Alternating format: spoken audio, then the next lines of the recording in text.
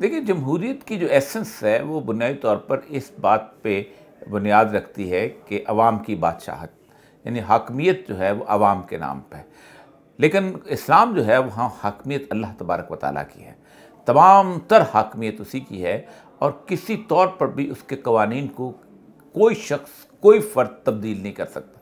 الملک الملک اللہ کی ذات ہے اور اللہ ہی ہے کہ جو قانون دینے والا ہے اور اللہ ہی ہے اس کے قانون کو یہاں پر نافذ ہونا چاہیے۔ جبکہ جمہوریت کا بیسک ایسنس یہ ہے کہ اکثریت اگر مانتی ہے کہ یہ قانون اللہ کا نافذ ہونا چاہیے تو تب مانا جائے گا، ورنہ نہیں۔ جبکہ اسلام کے اندر اگر آپ اقلیت میں بھی ہوں اور اگر آپ کے پاس اقتدار ہے تو آپ اسلام کا قانون نافذ کر دیں گے۔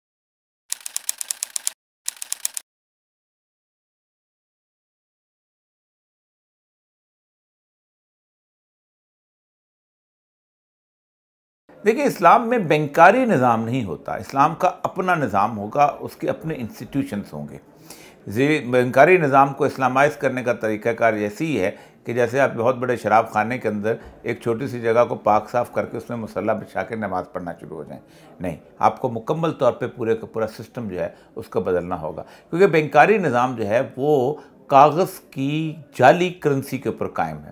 اور اسلام میں یہ کرنسی مکمل طور پر منع ہے۔ اللہ کے رسول صلی اللہ علیہ وسلم نے اس کرنسی کو استعمال کرنے سے منع فرمایا ہے جس کی اپنی علیحدہ کوئی مالی حیثیت نہ ہو انٹرنزک ویلیو جس کی نہ ہو۔ مثلا سونا ہے، چاندی ہے، جس کو آپ علیحدہ کر کے بیچنا چاہیں تو آپ بیچ سکتے ہیں۔ آپ اس کی قیمت بھی وصول کر سکتے ہیں۔ لیکن کاغذ کے نوٹ کو اگر کسی اور چیز سے علیحدہ کر دیا جائے تو بچوں کی کاپی زیادہ قیمتی ہوگی۔ کاغذ کے نوٹ تو لوگ جو ہے ہوا میں اچھالنے کے لیے بیچیں گے۔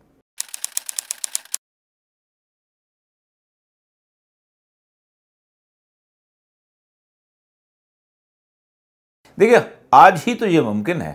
اس کی بنیادی وجہ یہ ہے کہ آج پوری کی پوری دنیا کی کرنسی جو ہے وہ ڈالر کے ساتھ منسلک ہو چکی ہوئی ہے۔ اور ڈالر جو ہے وہ پیٹرول کے ساتھ منسلک ہو چکا ہوا ہے۔ ہر آدمی نے ڈالر میں سیو کیا ہوا ہے۔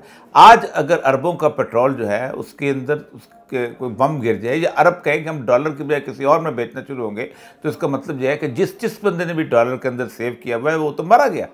وہ تو اگر سات ٹریلین ڈالر چائنا کا ہے، وہ چائنا کا ڈالر ختم ہو جائے گا۔ اس لیے آپ دیکھا کہ چائنا کے اندر سب سے بڑی مہم یہ بنی ہوئی ہے کہ جگہ جگہ کونے کونے پہ مشینیں لگی ہوئی ہیں کہ آپ اپنے یوان دیں اور آپ اپنا سونا جو ہے اس کے اندر سیو کر لیں۔ چائنا سب سے زیادہ سونا کو سیو کر رہا ہے۔ اس کو پتہ ہے کہ کوئی اور راستہ ہی نہیں ہے آئندہ کے مستقبل کے اندر اپنی بچت کا۔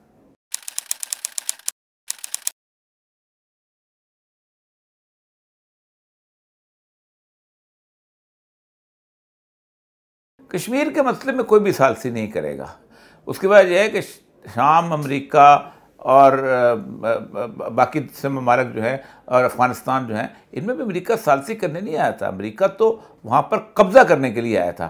اور آج تک کوئی بھی مسلم ملک ایسا نہیں ہے کہ جس کے اندر سالسی کرنے کے بعد وہاں پر کسی طور پر اقتدار جو ہے وہ منتقل کیا گیا عوام کو۔ یہ ایک کنسنسس ہے سیکنڈ ورلڈ وار کے بعد کہ مسلمانوں کا کوئی نیا ملک اسلام کی بنیاد پہ یا مسلمانوں کی بنیاد پہ ہم نے بننے نہیں دینا یا اس کو ہم نے پھلنے پھولنے نہیں دینا۔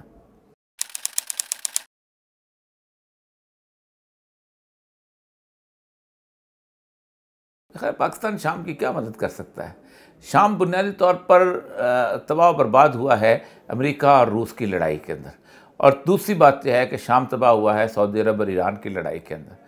اور اس میں اگر سعودی عرب نے مالی طور پہ مدد کی ہے، لیکن ایران میں تو وہاں اپنے دستے تک بھیجے ہیں۔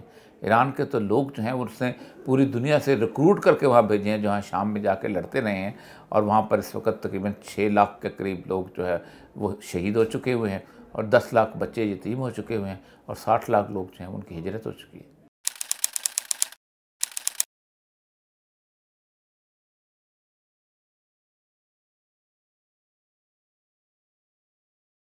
دیکھیں، میں تو ٹرمپ کے اس منصوبے کو رسول اکرم صلی اللہ علیہ وسلم کی اس حدیث سے ساتھ ملا کے لیتا ہوں۔ آپ صلی اللہ علیہ وسلم نے جو آخری دور کے زمانے میں، جو آخر زمان کی سب سے اہم ترین حدیث بتائی ہے، وہ یہ بتائی ہے کہ عمران البیت المقدس خراب الجسر، کہ بیت المقدس کی آبادی یعنی بیت المقدس کا سینٹر سٹیج ہونا یہ مدینہ کی ویرانی پہ بنیاد رکھتا ہے۔ اور مدینہ کی ویرانی جو ہے، وہ ملمت القبرہ یعنی بہت بڑی جنگ کا آغاز ہوگا۔ اور بہت بڑی جنگ کا خاتمہ ہوگا جب آپ قسطنطنیہ کو فتح کریں گے۔ اور قسطنطنیہ جو ہے، اس کی فتح کرتے ہی دجال جو ہے باہر آئے گا۔ یعنی یہ اب جنگ جو ہے، اب اس نیج پہ پہنچ چکی ہے کہ جہاں آپ کے کی جو قسطنطنیہ نے استنبول بھی ہمارے ہاتھ سے نکل جائے گا اور پھر بڑی جنگ کے آخر میں فتح ہوگا اور یہ آپ صلی اللہ علیہ وسلم فرمایا، یہ سات سال کے اندر اندر ہوگا۔ اس کا مطلب کہ سات سال کا عرصے میں یہ صورتحال جو ہے پیدا ہونے والی ہے۔